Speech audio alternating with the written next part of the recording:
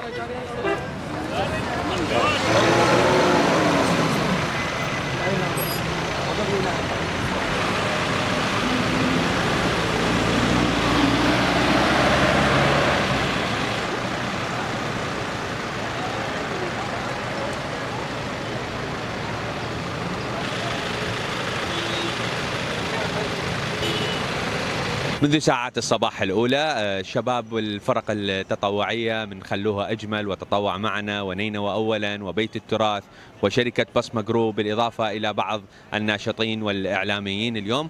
آه، خصصوا ثلاث آه، مركبات لنقل العوائل من منطقة المجموعة الثقافية اللي تعتبر من أبعد النقاط على المنصة وصولا ونقلهم إلى مدخل الكفاءات الأولى اللي هو يعتبر المدخل الرئيسي. بالتالي هذا العمل التطوعي استكمالا لأعمال اعمالنا اللي صار لنا ثلاث أيام ندعم بها المهرجان. هذا المهرجان المهم اللي يعكس صورة نينوى آه، بشكل حقيقي. بالتالي إنجاح هذا المهرجان هو نجاح لأهالي نينوى بل بالعراق أجمع. والله مبادرة جيدة يعني لأهل الموصل يعني ينقلون الجايين من خارج المحافظات ومن داخل المحافظة.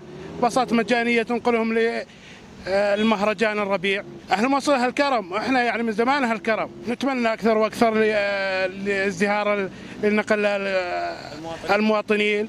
والبارحة يعني سمعت يعني 50 تاكسي يعني مخصصة.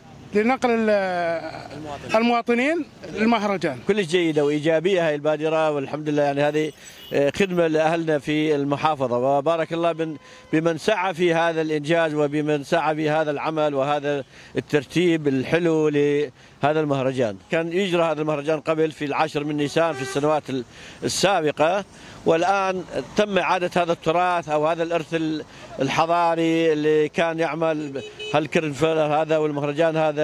شيء كله جيد للمحافظة. الحملة المجانية زينة بس لكن الحملة المجانية لاقى الصعوبة حولي لاقى الصعوبة حولي. ولكن لو مخلين بعد أفرع أكثر من ما تصورنا لأن الكم هائل الكم هائل الجاي للمهرجان.